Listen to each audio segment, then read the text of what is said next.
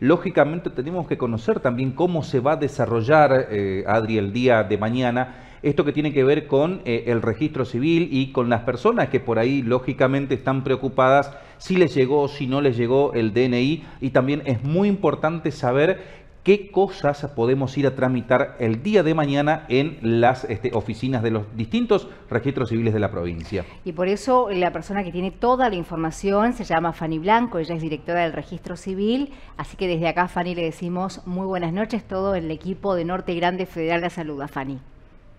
Bueno, muy buenas noches a ustedes y a toda la audiencia. Buenas noches. Bueno, es un placer poder hablar con usted en primer lugar, bueno, para que nos cuentes cómo van a trabajar el registro civil en una jornada sumamente importante como la de este domingo 13 de agosto.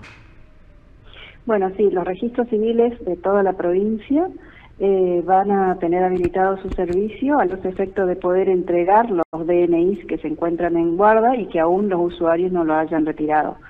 La jornada se va a extender desde las 8 y hasta las 18, coincidiendo con el horario de la emisión del sufragio.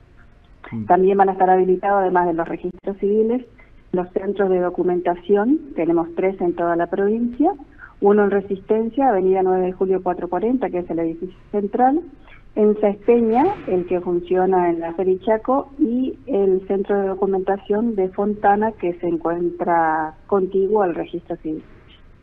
Bien, eh, Fanny, explíquenos ahí en estos este centro que usted dice, ¿no? El, lo que es este, la sede central de 9 de julio, eh, Fontana y eh, San Peña. En estos lugares, concretamente, ¿qué trámites se, pueden realizar a diferencia de las dependencias que están en las distintas este, localidades, Fanny? En, en, todas las oficinas dependientes de la Dirección General de la provincia se van a poder retirar únicamente los Eh, de aquellos que se encuentran en guarda, como bien lo dije.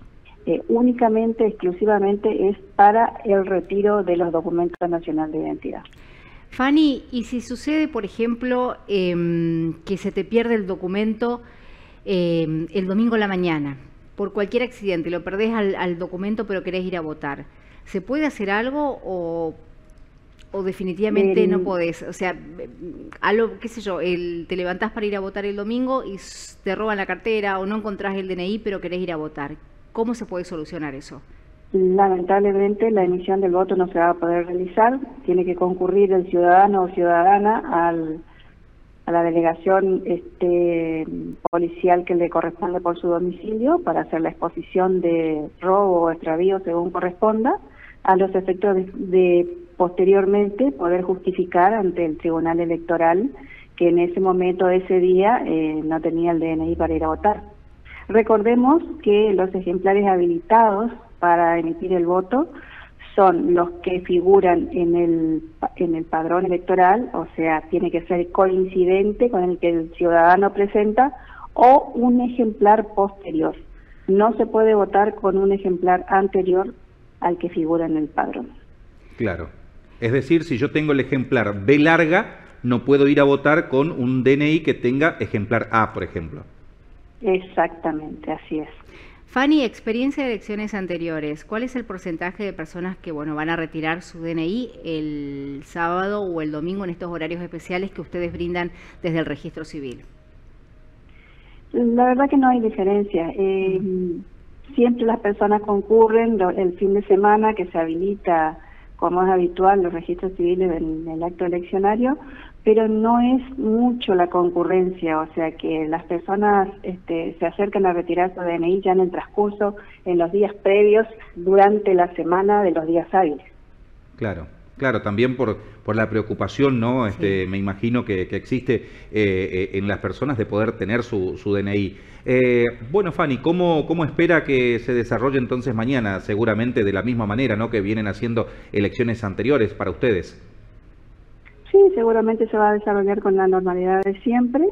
Y quiero agradecer muy especialmente también a todo el personal del registro civil, a los colegas, que con buena predisposición eh, cumplen el servicio y tengamos en cuenta que este año son unos cuantos, unas cuantas elecciones, así es que muy agradecida a todo el personal del registro civil de la provincia.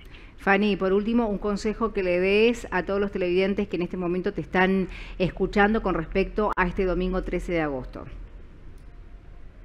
eh, que concurran a votar y que presten atención de llevar el DNI que le corresponde, el DNI hábil.